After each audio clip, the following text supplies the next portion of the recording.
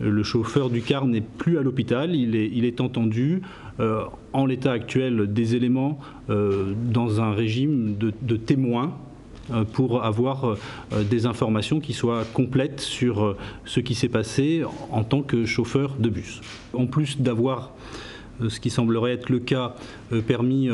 l'extraction de passagers, il apporte aussi son concours sur la recherche de la vérité puisque c'est un témoin direct, visuel et un, un des seuls que l'on ait sur, sur l'enquête.